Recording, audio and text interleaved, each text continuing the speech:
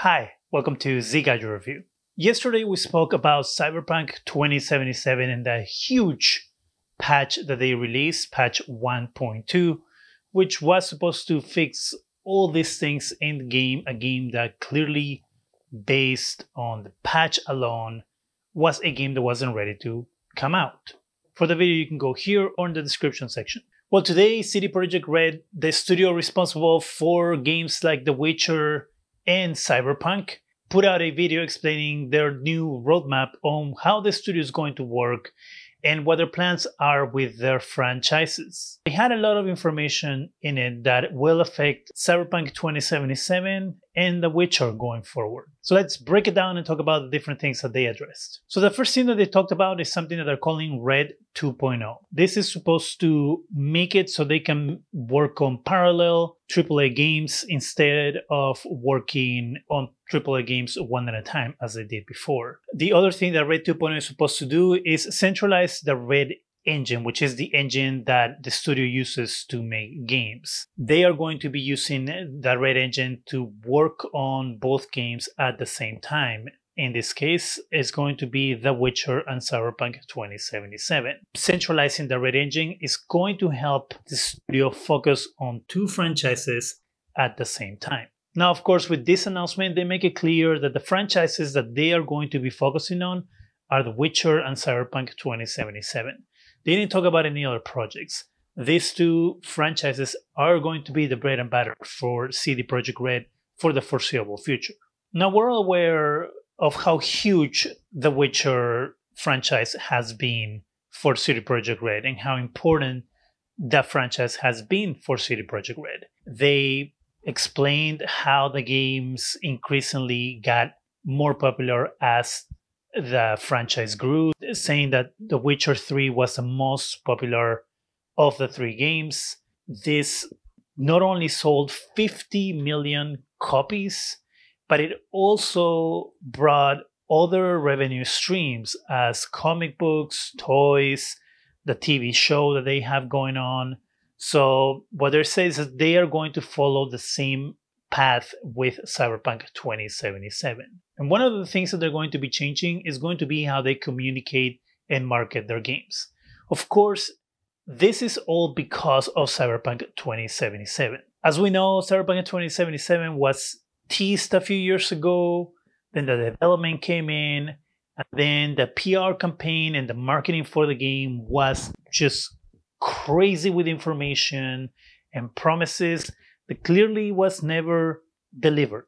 So one of the promises they're making is that marketing and PR campaigns will start closer to the actual launch. However, new projects might still be teased early on. When they were talking about this in the video, what they said is that they will, of course, put out some teasers and stuff like that so people know what they're working on and kind of you know get you prepared for the game but that these marketing and pr campaigns are going to be released closer to when the game is going to be released so instead of talking to us about a game for three or four years until the game comes out, they probably do it between a year to six months, kind of like other studios do. I mean, Call of Duty really doesn't start talking about Call of Duty until six months, nine months before release. And that's enough time to kind of give you an idea of what the game's going to be. And of course, as the game gets closer to release, they, they pump you up with more marketing and, and trailers and interviews and blah blah blah. Same thing with Battlefield, and I think what the approach is going to be for CD Projekt Red going forward is going to be that let us know something about the game little by little. A year, nine months, and then a six month run to the game is going to be chock full with information. Game communication will focus on more polished footage and demos. Moreover, showcases will be conducted on all platforms. One of the big issues with Cyberpunk 2077 was that the studio hid the fact that the game did not work on last gen consoles. Everything that we saw was on a PC. All the footage, all the demos, everything came from a PC, which was misrepresentative from what the game was actually going to look like and how the game was going to run when it came to consoles. And this is going to be their way of fixing it. So going forward, whenever they showcase a game, it's going to be played on every single platform the game is going to come out, so people get a realistic idea of what the game is going to look like. So hopefully, fingers crossed, no more empty promises, no more lies from CD Projekt Red. They gave us a roadmap update for 2021 for their two franchises. Again, one more time, proving that these two franchises are going to be the bread and butter for CD Projekt Red.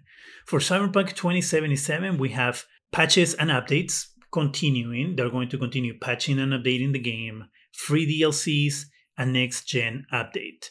Now, if you look at the free DLCs, I have that one there that says, and if you read below, it says one DLC, small additional content, which means that we're not going to get a big amount of expansion for this game. Now, there are some leaks out there of what that DLC might be, and it doesn't sound like DLC that is going to make people run and get the game. It seems, sounds mostly cosmetic and s- small side missions. So I don't think there's going to be more added to this story. And then the next gen update, which is something that everybody's expecting. For the next gen update, they did say that it's probably not going to happen until the second half of, of 2021. The other thing that they address about Cyberpunk 2077 is that these patches and updates are going to be constant, and that the DLC in the next gen update isn't going to happen until the game runs like the way they want it to run it. So it is feasible that the next gen update will probably get pushed to next year. Again, not 100%, but if they're trying to fix a game that just had this gigantic laundry list of fixes and people are still saying that the game isn't running perfectly, then that means that they're going to continue working and patching the game. And then that is going to be their 100% focus until the game runs the way they want it to run. In other news, we have The Witcher, which is going to have a mobile game which is called The Witcher Mon- Monster Slayer. And uh, from the little video that they showed, it looks like it's going to be a game that kind of runs like uh, like the Pokemon game where you go out and trap Pokemons, but in this case, you're going to go out and trap monsters. There's going to be a Witcher 3 next gen update, so we are going to get a Witcher 3 for the Xbox Series X, PS5. All right, so after that, they they talked about the build out. So how they're going to build the Witcher and Cyberpunk franchises. And this is something that, as I said earlier,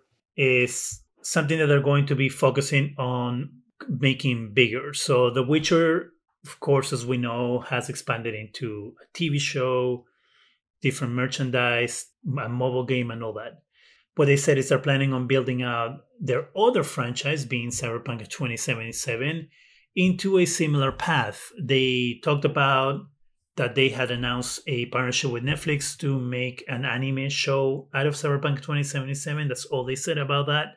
But they had announced that last year before the game came out or around the time the game came out. Um, they say that they're obviously going to continue uh, mer- creating merchandise for for the game, which of course, why wouldn't you? And also, they're probably going to make some comics about Cyberpunk 2077. So, if you love the Cyberpunk 2077 world, there's plenty of content coming your way to satisfy that crave. The other thing that they spoke about was how the two different franchises differ from each other and how it was also an evolution within the games that they work on. So they talked about Cyberpunk 2077 being an RPG with action and shooter elements, and The Witcher, while The Witcher 3 being an RPG action elements, and The Witcher Enhanced Edition is going to be pure RPG. Now, here's uh, one of the wheels. This is the one for Cyberpunk 2077. And then um, they tout that 30 million games sold at launch. And then we have the online portion of their plan. So they said that we're going to add online multiplayer portions to their games as it makes sense, whatever that means. What they also stress is that they weren't going to stop with the main single player portion of their games. So technically, what they're telling us is we're going to be a new Call of Duty, right? Single portion of the game with the story, multiplayer portion of the game with multiplayer elements, whatever that might entail, obviously depending on the game. They obviously that's, you know, a thing that other developers have done. And developers, every time that they have gone multiplayer, online multiplayer, it's always been uh, money driven because there's so much money to make on an online game. There was a time where they said there were going to be microtransactions in Cyberpunk 2077. Eventually, CD Projekt Red walked that back and they said they weren't going to do it. But now that they're moving towards that multiplayer portion of uh, games, it's kind of weird that they wouldn't put microtransactions. I'm sure they're probably going to have some small cosmetic microtransactions like most games have nowadays. But it's also a concern where, yes, they're committing that they're going to have the single player portion of the game. But how do we know that that is going to be as rich as the single player games that we have gotten so far? Cyberpunk 2077, with all the issues that it had, had a pretty good single player campaign. It was enjoyable. It, yes, it was a little repetitive and stuff, but for the most part, it was a pretty good game. By doing this online stuff, I feel that they could kind of leave that first person part of the game behind and not make it as full fledged as it otherwise could be. And kind of being like, we gave you a single player mission don't bother us. We did what we promised, kind of thing, right? Hopefully, they won't do this, but the appeal of making money is too big, and we have seen what, what CD Projekt Red will do in order to make money with a disaster that is Cyberpunk 2077. And then when it comes to Cyberpunk 2077 online multiplayer portion of the game, this is what they had to say. Previously, we hinted that our next AAA would be a multiplayer Cyberpunk game but we have decided to reconsider this plan, given our new, more systematic and agile approach. So they didn't really say the Cyberpunk 2077 online multiplayer portion has been cancelled, but when you say that you have reconsidered doing something, and then you know talk about what your reconsideration has become, that to me means that you're done, that you're not going to put a multiplayer portion on the game. Not only that, but there's nothing on your roadmap that really says that you're going to be doing that.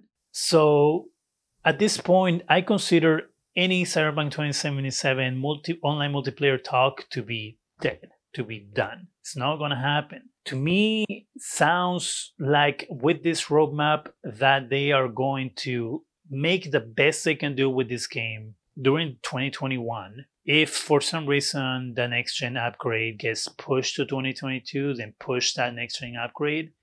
But besides that, that they are done with Cyberpunk 2077 for now, because as we know, they're clearly going. We're clearly going to have other Cyberpunk 2077 games coming at some point. One big thing about them in this whole thing was that they weren't only going to focus on the game, so they were also going to focus on their employees because for some reason it didn't matter before until they were called out by Bloomberg on it. Now, because they have been shamed, I guess, they need to focus on the people that make their games. Probably should have done that from the beginning, though. So, what do you think about the changes that they are making? Do you think that they will remain focused on great single player experience, or they're going to fall by the wayside and they're going to become primarily multiplayer experiences. How do you feel about Cyberpunk 2077 losing a bunch of things pretty much and them saying, hey, this is what we're doing and no more? Let me know in the comment section. That's it for me. Go ahead and subscribe. Give us a thumbs up. It really helps the channel. Go ahead and hit that bell so you can be alerted every time we have new videos. And thank you very much for watching.